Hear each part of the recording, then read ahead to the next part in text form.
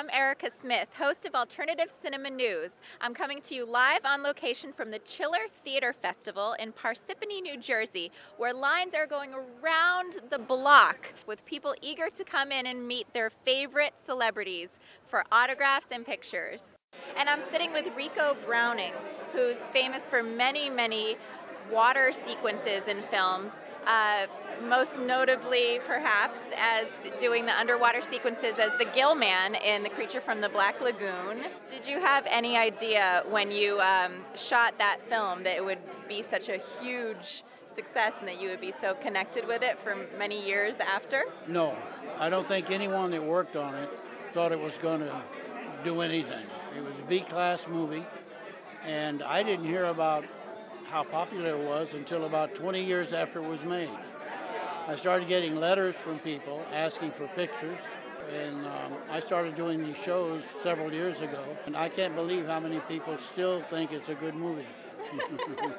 well, I think it's a great movie. I've, I really, it's one of my favorites. Um, what besides that character are you do people most recognize you for? What other series or film? I created a show called flipper. We made two features four years of television and then after that another feature. I specialize in shooting underwater sequences for movies. Uh, i started directing topside when i did the uh, flipper series. Okay. and then we did a show called gentle ben about a boy and a bear and I did another feature I created called Salty about a sea lion.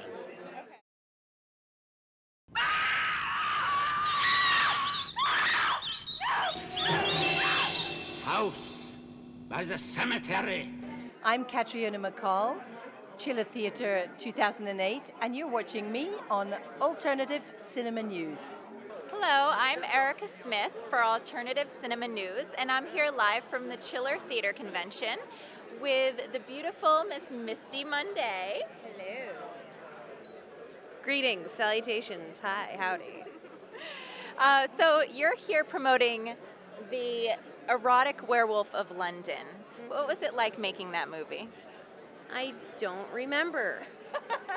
uh, seeing as how I've been in like 900 films and we shot it like eight years ago, I believe it has something to do with a werewolf and some lesbians. Sounds fascinating. I'll have to check that out. Uh, what about, we've been in several films together. What was your favorite film that we made together? Well, I think that in Bite Me, you were hilarious. um, so that's my favorite role that you're in, especially in the little bunny hat thing. And when you talk like this, and you're really funny. Um, but then it was really sad when you got burned with the cigar on your forehead. That was really sad. Do You remember that? Should we tell that anecdote? Yeah, why don't you tell it? Okay, well, yeah, I think it, it was like during like the uh, strip club brawl, and we had choreographed this whole big fight scene thing, and uh, some dumbass had a cigar hanging out of their mouth when poor Erika had to like jump off of the stage and they were supposed to catch her, and the guy basically like extinguished his cigar on your face. Well, that's not, that's a little exaggerated. Actually, I was like, it was like a fight scene, and he was punching me fake punching me. And as he did that, the cigar ash, I guess, went in my head. And I felt it, but I was like, the show must go on. And I did the scene and finished it. Bullshit, she totally cried. I did cry, but it burned my hair off. What about um, Splatter Beach? Was that fun to make? It was fun to make. It's a funny little little film. Yeah, it was good times. But um, I think that we're both fabulous and sinful, and that's my favorite film that we're in together. Yeah, now that you mention it, I like that one a lot. You're, you're really mean in that. So, do you have any projects coming up that you'd like to talk about? No. no, I don't know. I'm kind of taking it easy right now, and I'm uh, working on actually maybe potentially directing some stuff and starting a production company with a friend of mine who. Uh, acquired a bunch of lights and equipment and cameras and whatnot. So, um, trying to get more on the creative end of directing and producing stuff.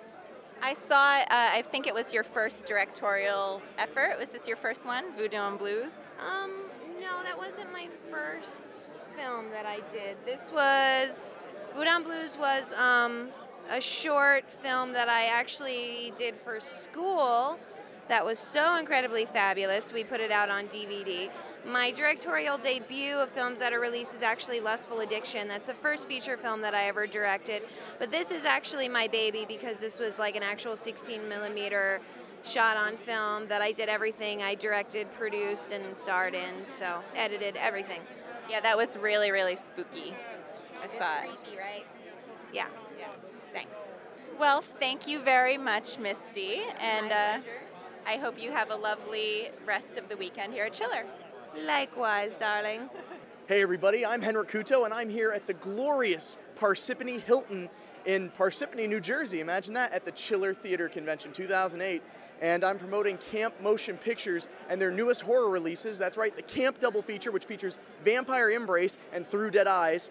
And of course, Blood and Sex Nightmare from Bloody Earth Films. Now, I wanted to mention something real quick because if you like your horror like I do, and that's campy, cheesy, a little bit of goodness, I, I really have to recommend the Camp Horror Double Feature because, in all honesty, how many movies do you get with James Doohan playing a chain smoking former police officer with an eye patch on? How many?